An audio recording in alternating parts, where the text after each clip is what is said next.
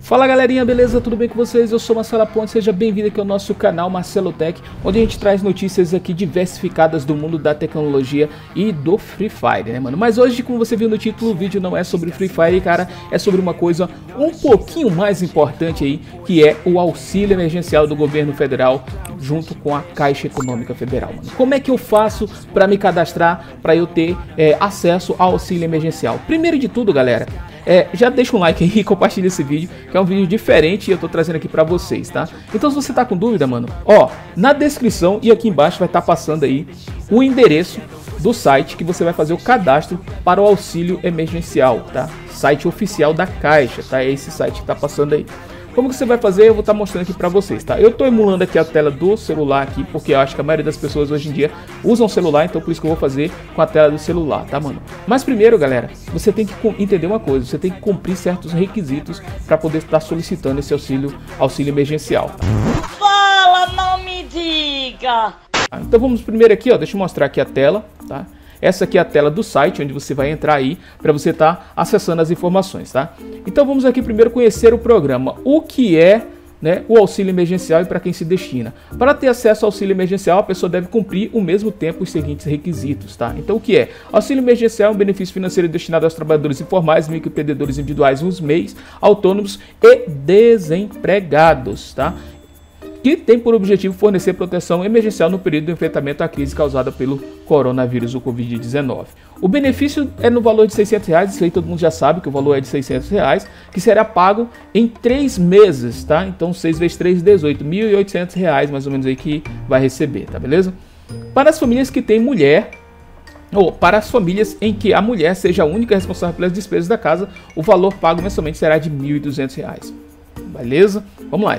Quem estava no cadastro único até o dia 20 do 3, ou seja, até o mês passado, e que atenda às regras do programa receberá se precisar se cadastrar no site da Caixa. Então, quem já está no cadastro único, quem já é, é, é, beneficiário do Bolsa Família, no caso, não precisa fazer esse cadastro. Se você recebe já Bolsa Família, mano, não se preocupe, você não precisa fazer isso, ok? Porque isso aqui é só para quem ainda não tem nenhum benefício, ok? Vamos lá, vamos mais para frente. É, quem recebe Bolsa Família poderá receber auxílio emergencial, desde que seja mais vantajoso neste período. As pessoas que estavam no cadastro único até 20 do 3, mas têm direito ao auxílio, poderão poderão se cadastrar no site Auxílio da Caixa, que é esse site que está aí na descrição e o site que a gente está usando aqui para fazer isso aqui, tá? Ou pelo app Caixa Auxílio Emergencial, que também, se já tiver disponível o app, que eu ainda não sei se já foi disponibilizado no momento da gravação desse vídeo, hoje dia 7 de abril. Se tiver, já vai estar o link aí na descrição. E se não tiver, depois eu atualizo o vídeo e coloco o link aqui na descrição, beleza? Para quem se destina, então tá aqui, ó. Leia com atenção as informações abaixo, ó. Primeiro, você tem que ser maior de 18 anos, tá? Não pode ser menor não ter emprego formal destinado a trabalhadores autônomos com rendas informais. Ou seja, se você tem carteira assinada, trabalha numa empresa, você não pode fazer isso aqui, tá beleza, mano? Beleza? Entendido? Olha a honestidade, hein, pessoal. Você tá falando sério? Ih. Vamos lá. Não ser beneficiário, tá? Não receber benefício previdenciário, ou seja, ser aposentado, ou assistencial, seguro-desemprego ou outro programa de transferência de renda federal que não seja o Bolsa Família, tá? Renda familiar. A renda familiar per capita, ou seja, por pessoa, tem que ser de até R$ 522,50. O que, que é isso, mano? Por exemplo, eu recebo, eu sou concursado aqui na prefeitura da minha cidade, eu recebo R$ 1.375 por mês, tá? Deixa eu abrir aqui a calculadora. R$ 1.375 é meu salário base aqui na prefeitura. Salário base, ou seja, é o meu salário mínimo que eu recebo aqui. Dividido para cinco pessoas, que aqui em casa somos cinco, eu, minha esposa e mais três filhos, então dá uma renda por pessoa de 275 reais, beleza? Então aqui eu me encaixaria nisso aqui, tá? E também a renda total da família não pode ultrapassar a 3.135. Como eu disse, eu sou concursado, tenho um salário base de 1.375, mas tenho o meu canal do YouTube, tenho o meu canal do TikTok, tenho um encurtanet que eu uso aqui para encurtar links e tudo isso me gera uma renda. Só que se essa minha renda, cara, não passa desse valor de 3.135 reais. Então eu me encaixaria nisso aqui, tá?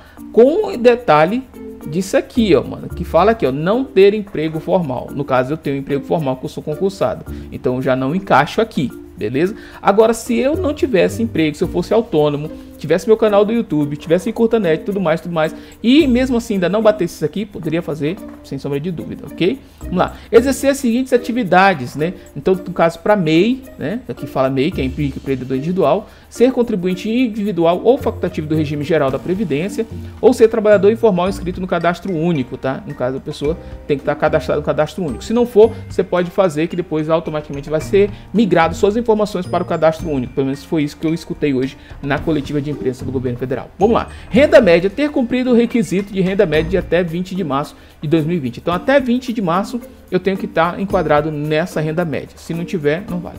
Vamos lá. Feito tudo isso, mano, aí vamos voltar aqui para o começo e vamos aqui, ó. Tenho todos os requisitos, quero continuar, beleza? Nesse site, está aqui a declaração, você vai marcar aqui embaixo, declaro que li, e autorizo acesso a meus dados para validar as informações. Então não tente passar a perninha dando uma de esperto não, mano, que o governo vai verificar, e se você cair nessa malha fina depois, mano, as coisas vão ficar feias para você, tá? Então, honestidade, pessoal, vamos lá. Tenho todos os requisitos, só clicar em continuar, e aqui você vai preencher com seus dados, tá? Preenchido todos os seus dados aqui, mano, você vai preencher seu nome, seu CPF, sua data de nascimento e o nome da mãe. Aí você vai marcar não sou robô e vai continuar. Feito isso, deixa eu pegar aqui a imagem. Pronto, essa é a imagem que vai aparecer aí, ó. Quando você terminar de fazer o cadastro, vai aparecer essa imagem aí tá? Dizendo que você está no cadastro único do governo federal, as condições para recebimento do auxílio emergencial serão avaliadas com seus dados no cadastro único, tá? O aplicativo está sendo preparado para você, aguarde cinco dias e acesse novamente. Então, após cinco dias, você pode acessar novamente o site aqui, esse endereço, tá? É bom você ir acessando todos os dias, mano, porque devido à importância disso, então muitas, é, muitas burocracias estão sendo puladas, então está sendo mais agilizado, está sendo mais rápido. Então você vem aqui, eu clica em entendi, beleza? Depois que você clicar em entendi, você vai voltar para essa tela principal aqui, beleza? Chegou nessa tela aqui, mano, vamos supor amanhã você entra aqui de novo e você vai aqui, ó, acompanhe a sua solicitação. Aí você vai entrar aqui com o seu código, com o seu CPF, vai clicar em já recebi o código, vai marcar não sou robô, tá? E vai aqui, ó, em já recebi o código, tá? E clica em continuar, mano, beleza? E aí você vai ver a sua situação, se você foi cadastrado ou não aqui, se você vai ter direito ou não a receber, beleza? Espero que esse vídeo tenha te ajudado. Se te ajudou, já deixa um like aí. Se inscreve no canal para acompanhar os próximos vídeos. Aqui tem vídeos diversos, mano. Vídeo de Free Fire, vídeos de review de telefone, de aparelhos, dicas, tutoriais e muito mais tudo aqui nesse canal. Então se inscreve aí que você não vai se arrepender, beleza? Eu sou Marcela Pontes, vou ficando por aqui. Fiquem todos com Deus e eu fui. Got some nice long hair and you know that she's a bad chick. All the boys stare, can't help it,